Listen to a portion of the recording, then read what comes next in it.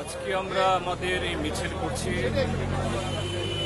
এটা সারা দেশেই সমস্ত রাজ্যে সংগঠিত হচ্ছে। গণ অধিকার আইন দুই হাজার ছয়, যেটা তেরো বছর আগে এই আইনটা তৈরি হয়েছিল। এই আইন মোতাবেক আমাদের দেশের প্রায় এক কোটি আদিবাসী এবং যারা বংশ পরম্পরায় বনে বসবাস করে, তাদের পাট্টা অর্থাৎ জমির অধিকার দেওয়ার কথা। কিন্তু এই মোদী সরকার আসার পরে একটা পরিবারকেও এই পাট্টা দেওয়া হয়নি, অর্থাৎ অধিকার দেওয়া হয়নি। উপরন্তু যে এখন সুপ্রিম কোর্টে কেস করে ত্রিশ লক্ষাধিক পরিবারকে বন থেকে বহিষ্কারের জন্য উচ্ছেদ করার জন্য ব্যবস্থা করেছে।